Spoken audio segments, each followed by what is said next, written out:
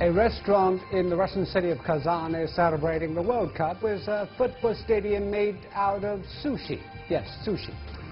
The restaurant used 6,000 pieces, uh, pieces of sushi to build the Culinary Coliseum.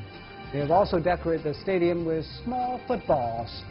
And the mascot, Zabivaka is seen in the middle of the pitch. The 85-kilogram sushi stadium is certainly a fresh way to enjoy the World Cup.